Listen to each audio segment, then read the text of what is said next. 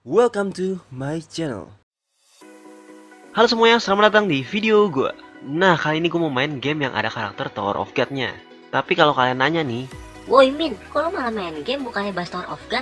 nah jadi ceritanya kayak gini nih. Awalnya gue mau buat tutorial cara download game ini. Karena yang gue tahu game ini tuh dulu nggak ada di Indonesia dan belum ada di Play Store. Jadi gue mau buat tutorialnya.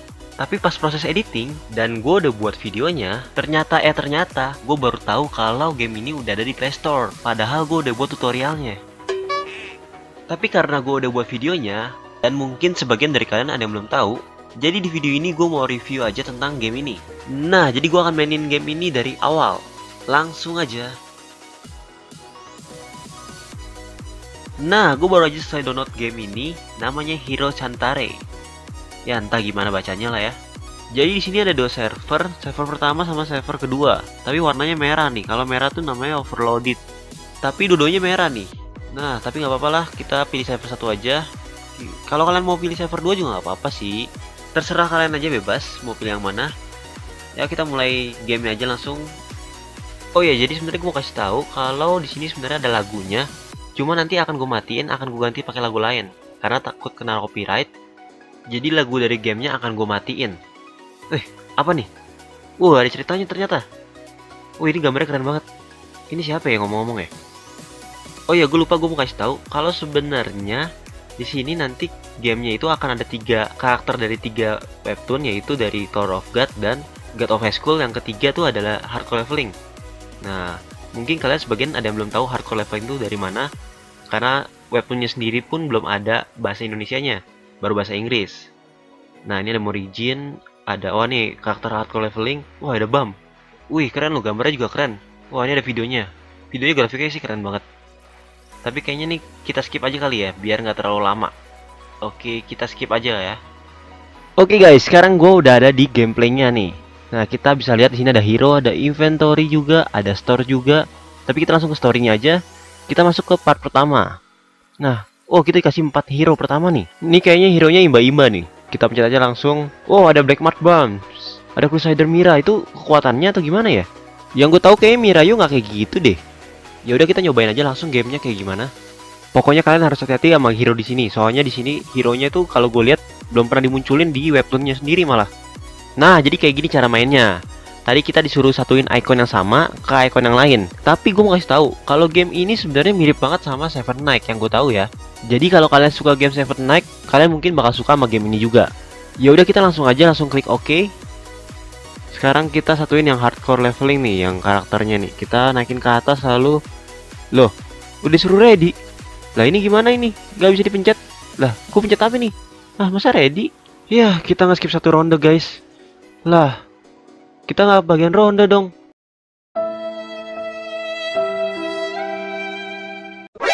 Nani?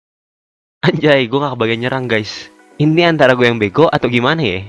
Tapi kita kali ini nggak boleh sampai kehilangan giliran. Kita satuin dulu nih yang sama-sama. Gue mau nyari sebenarnya mau nyari yang bam nih, tapi bam cuma dua, sayang banget. Yang ada hardcore leveling. Oh, nggak bisa di drag. Langsung dipencet aja. Jadi nggak usah geser, dipencet aja langsung bisa. Nah kita ready sekarang. Nah kita lihat nyerangnya kayak gimana. Wow, itu ngeluarin ulti atau gimana tuh? Tapi nggak kelihatan sakit ya. Untuk animasinya sih keren banget sih, gue akuin. Tapi gue penasaran nih kalau bam nyerang kayak gimana nih. Ini sekarang giliran Bam. Wih, itu Black House Spear ya? Kalau nggak salah sih itu Black House Spear. Oh, kayaknya kalau kita gabungin tiga gambar, baru ada animasinya. Kayak tadi hardcore leveling tuh tiga, kalau Bam cuma dua. Jadi nggak ada animasinya. Oh, tapi sayang banget nih kita cuma dapat dua skill dari Bam. Padahal gue mau kasih lihat kalian kalau misalnya tiga skill. Katanya sih ada animasinya. Iya, sekarang ini musuh kita tinggal satu, tapi tadi gue taruh Bam di depan biar dia nyerang duluan. Oh, jurusnya sama. Gue kira bakal beda. Gak apa-apa, gak apa-apa. Yang penting musuh kita udah mati. Oke, jadi gini. Kalau misalnya kalian punya dua gambar icon skill, kalian bisa gabungin jadi dua. Kalau tiga juga bisa gabungin jadi tiga. Masing-masing itu mempunyai jurusnya beda-beda. Tapi ngomong-ngomong baru main kita udah ketemu bos nih. Ini apa lagi ungu-ungu? Yaudahlah ya, kita taruh aja. Kita langsung ready aja. Kita lihat ini apa. Nah loh, ini efek skillnya lebih bagus nih. Oh, gue tahu nih, pasti spesial skillnya nih. Keren juga ya. Eh, langsung mati. Ya, padahal gue mau lihat bam loh. Ya, sorry guys, sayang banget kita nggak bisa lihat spesial skillnya Bam. Padahal tujuan gue tadi mau kasih lihat kalian spesial skill Bam loh. yang gue tahu katanya keren. Mungkin kita coba main dulu aja, siapa tahu kita bisa lihat. Nah, sekarang ini lagi loading. Woi, ini kita udah selesai ternyata tutorialnya. Woi, kita dapat reward nih, selesai main. Lumayan buat modal nanti. Ini ada XP, ada gold juga. Ini ada hero point. Lalu ada fragment-fragment gitu. Kayaknya sih ini kita bisa nyatuin jadi satu, terus digabungin mungkin jadi hero atau inventory. Yaudah kita langsung live aja kali ya. Kita sekarang disuruh ke city, ke tampilan awal kayaknya. Lalu kita ke hero. Kita ngapain nih ke hero? Kita ikutin aja dulu. Oh, disuruh naikin level ternyata. Jadi kita bisa naikin level di sini. Tapi kalau kita naikin level kita butuh duit sama diamond tadi kalau nggak salah ya. Nah, kayaknya tutorialnya udah selesai. Jadi gua akan leveling dulu sampai levelnya udah tinggi, terus fitur-fiturnya udah kebuka. Jadi jangan ke mana-mana karena gua akan baik lagi. 2000 years later. Halo guys, sekarang gue udah selesai leveling. Sekarang gue udah level 35 dan kayaknya fitur-fiturnya juga udah kebuka semua. Dan gue juga sempat ganti nama jadi Andrew Zelot. Kalau kalian mau add juga boleh. Tadi tuh gue leveling di story aja, cukup cepat juga ya. Gue juga udah dapat beberapa karakter. Nanti gue kasih tau kalian karakter apa yang udah gue dapet. Sekarang kita masuk ke storynya dulu. Nah, sekarang kalian bisa lihat itu story yang udah gue selesain, semuanya bintang 3. Dan kalau kalian lihat di atasnya itu ada tulisan klaim, kalian bisa pencet itu klaim. Kalau kalian pencet kalian bisa dapat hadiahnya. Wow, gue naik level, dapat hadiah juga lagi. Oh, ternyata gue dapat XP terus dapat gold juga dari hadiah ini. Kalau kalian lihat di situ ada lifetime-nya, kalian bisa ngeklaim sampai waktunya itu 00.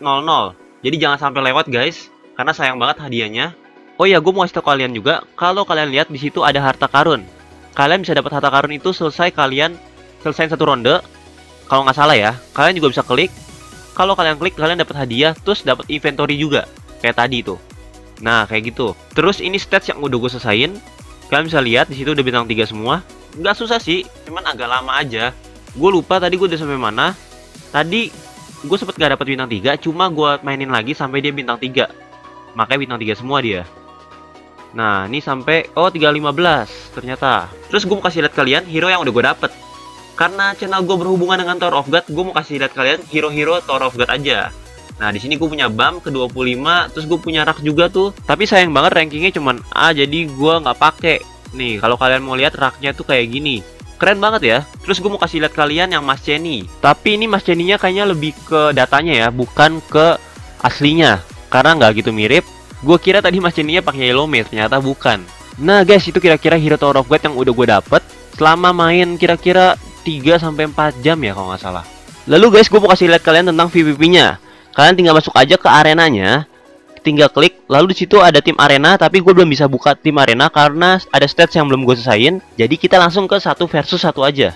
Jadi gini guys, gue mau kasih tau kalian kalau misalnya PVP-nya ini nggak online tapi offline, cuma kita ngalahin ranking di atas kita, baru kita dapat poin otomatis. Dan orang yang kalian kalahin akan berkurang juga secara otomatis. Jadi kalian harus build hero kalian sejago mungkin biar nggak ada yang kalian-kalian di arena. Oke, kita langsung aja lawan musuh yang powernya lebih gede di situ.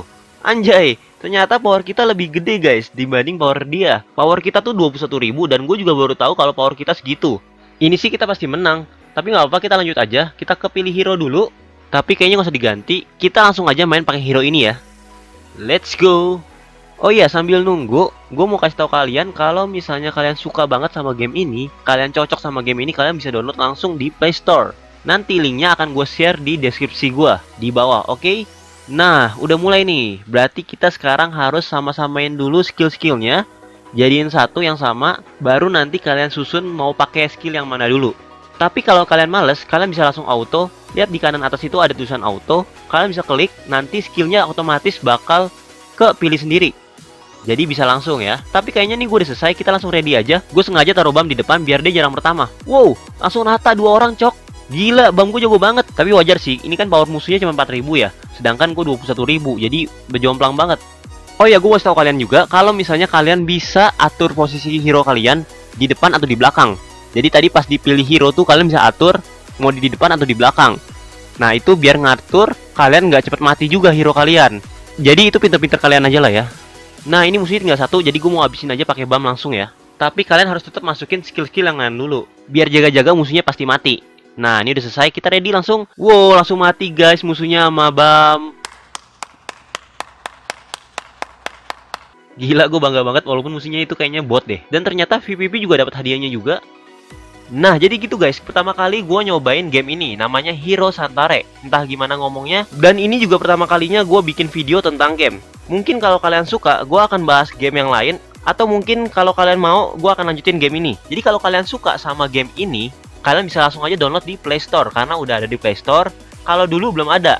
Jadi kalian harus download di QU App dulu. Kalau sekarang udah bisa di Play Store. Jadi kalian tinggal download aja di Play Store. Nanti linknya akan gue taruh di bawah, di deskripsi bawah. Dan jika kalian nanya, channel gue ini bahas tentang apa sih? Channel gue ini akan bahas tentang sesuatu yang berbau webtoon. Entah itu komik atau game, apa pun yang berbau webtoon. Jadi kalau kalian mau request atau nanya tentang seputar webtoon, misalnya cerita webtoon terbagus tahun ini, kalian bisa request langsung ke gue. Jadi itu dia video gue kali ini. Sorry jika ada kesalahan dan kekurangan. See you on the next video. Bye-bye.